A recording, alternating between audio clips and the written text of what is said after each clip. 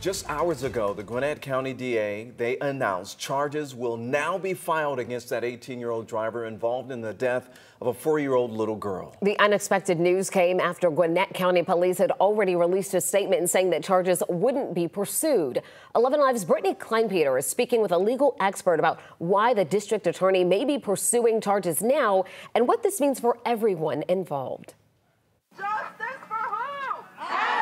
It's a case that has already rocked a family and its community. And tonight, it appears to be getting a little bumpier. Understand that there is a difference in opinion on how this case should or should not progress. Just hours ago, the Gwinnett County District Attorney revealed her office has been reviewing a case involving an accident that killed four year old Abigail Hernandez at the Mall of Georgia last month. But what we have seen now we fully intend to bring charges on this matter. The announcement comes after Gwinnett police said the Solicitor General would not be filing charges because only serious traffic offenses are enforceable on private property, such as reckless driving, DUI, or a hit and run. And the circumstances surrounding this incident didn't meet such charges. My first reaction was that someone went and studied the law, went back and looked at the statute. Personal injury attorney Robert James, who previously served as both the DeKalb County District Attorney and Solicitor General, says what appears to be a change of heart may have just been a mistake. And the Official Code of Georgia specifically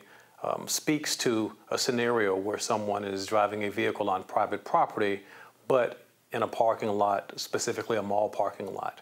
And what the law says in, in those instances, uh, the rules of the road apply and police can get involved and give citations and charge people. According to police, Abigail was walking with her father and seven year old sister when a white Chevy Silverado pickup turned out of the parking lot and hit the family. They were all taken to the hospital, but Abigail didn't make it. The Hernandezes need us all now as a community to come together and do what justice requires. In Atlanta, Brittany Kleinpeter, 11 Alive News.